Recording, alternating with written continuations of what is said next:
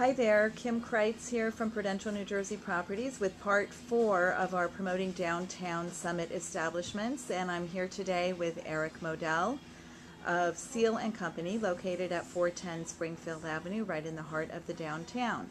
Eric is going to tell you a little bit about his wonderful store. Hi. Well, most of you who are familiar with Summit, we had my family had a department store here for over 50 years called Seal Fonds.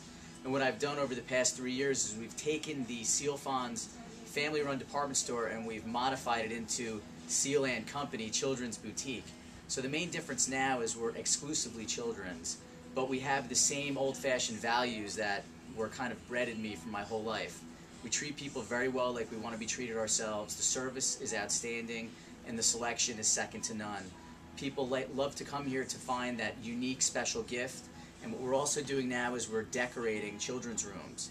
Um, if you take a look around the store, you'll see there's many one-of-a-kind items that you can use to decorate your child's room. We'll actually come into your house and help you select what's appropriate.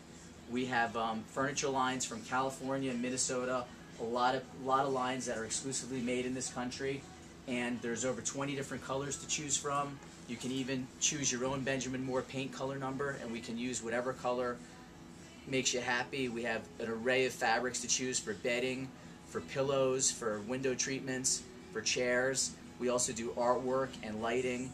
Um, we also just got into strollers and we're carrying Maclaren, which is the best name in the business. We're selling tons of Maclaren strollers. They do very, very well.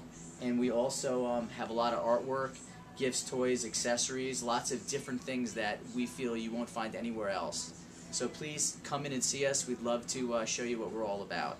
Thanks so much. Thank you very much, Eric.